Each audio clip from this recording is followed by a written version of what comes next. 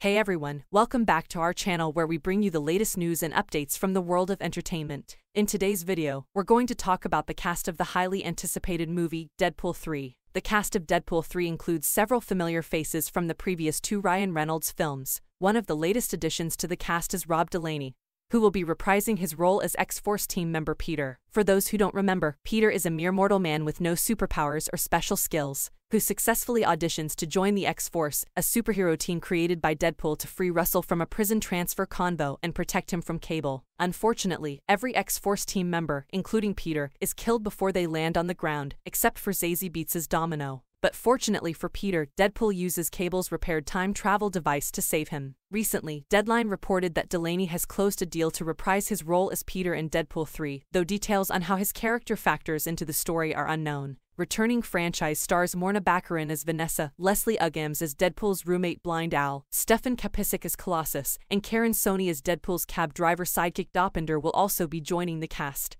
Moreover, the newcomers to the cast include Emma Corrin as an unknown villain and Succession star Matthew Macfadyen in an undisclosed role. Of course, the main star attraction of the movie is undoubtedly Hugh Jackman as Wolverine. Although Jackman retired from playing Wolverine after the character was given a heroic death in James Mangold's Logan, it's been insinuated that the multiverse will factor into Wolverine's return, allowing the ending Jackman and Mangold crafted to remain intact. Deadpool 3 is the Merc with a Mouth's first film since Disney acquired 20th Century Fox, reverting the character screen rights to Marvel Studios. However, Marvel Studios boss Kevin Feige promises Deadpool 3 will be R-rated, which means the adult humor and violent action from the first two films will carry over to the Merc with a Mouth's MCU debut. Deadpool 3 is scheduled to be released in theaters on November 8, 2024. So, that's all for today's video. What do you think of the cast of Deadpool 3? Are you excited to see Hugh Jackman reprise his role as Wolverine? Let us know in the comments below. Don't forget to like and subscribe to our channel for more updates like this. Thanks for watching.